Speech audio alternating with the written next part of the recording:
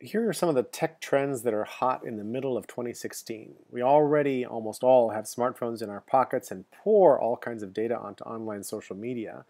Uh, in the background, companies are already using big data analytics and now increasingly machine learning to analyze what we've done. Uh, there is the automation of almost all work. Software is in fact eating the world, and it's hard to figure out which job title is going to disappear next.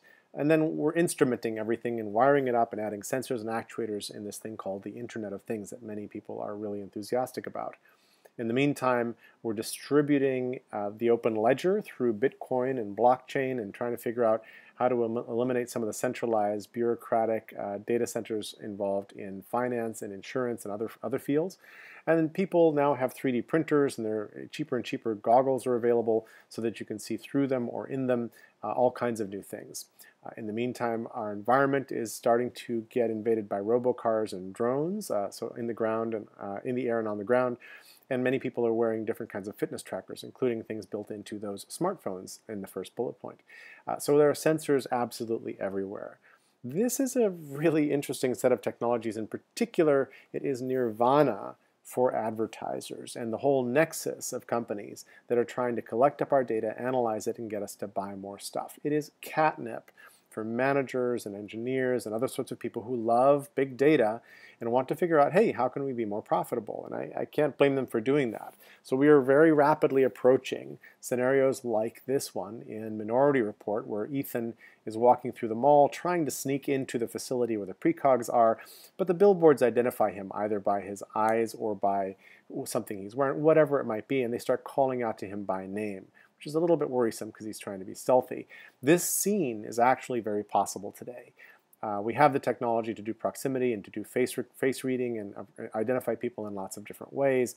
In fact, the billboards could be digital autonomous corporations or DACs that could operate on their own to source and pay for power, to be in markets to figure out uh, exactly which ad should they run for you in particular, uh, to bid those, those ads up and display them as you walk by. That This is not a far-fetched kind of scenario. It's also, to my mind, not that interesting a scenario in my world. So let's look at this uh, list of technologies once again because they are taking us, uh, they could be used for good or for evil, so to speak, but right this minute, they're taking us straight into what a few people are calling the stalker economy. Al Gore has talked about the stalker economy. My friend Mary Hodder has talked about it for some time. Um, truly, companies are acting like stalkers. And I, I, know the word is very, very strong, and I know it has implications I don't really mean to touch here.